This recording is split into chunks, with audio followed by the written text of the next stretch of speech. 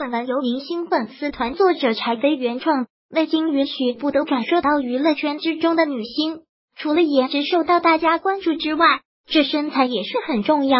这女星沈月，她的身材就被不少网友吐槽，大家吐槽腿粗还特别矮。其实娱乐圈之中还有很多女星都要比沈月矮，比如说这刘美涵，她就是如此，她比沈月还要矮，也只有一百五十七厘米而已。很多网友都是感叹刘美涵，她在出演完《巴啦啦小魔仙》之后就没有长高了。很多网友甚至担心这刘美含她自己还没有一百五十七厘米，还比这个更加矮一点。刘美涵她就是因为太矮，在娱乐圈之中发展都受到了限制。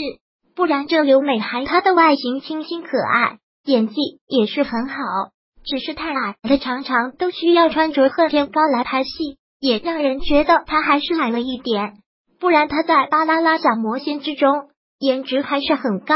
这几年之中，他也出演了不少经典作品，比如说《十五年等待候鸟》之中李军这个角色活泼开朗、单纯而又黑白分明，在剧中她是女主角的好闺蜜，这个角色就让人很喜欢。只是她和女主角站在一起，这身高差距也是很明显。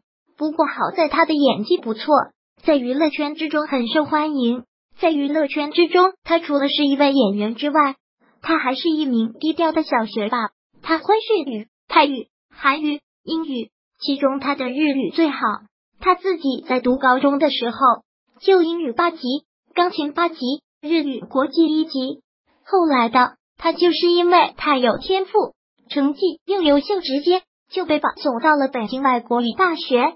看到这里，大家直接称刘美涵，她为语言天才。现在的刘美涵虽然在娱乐圈之中发展的比较一般，不过她因为这甜美清新的长相，在娱乐圈之中还是很受欢迎。不知道大家最喜欢刘美涵她的哪一部作品了？本文内容均为明星粉丝团原创，转载请先联系我们，谢谢。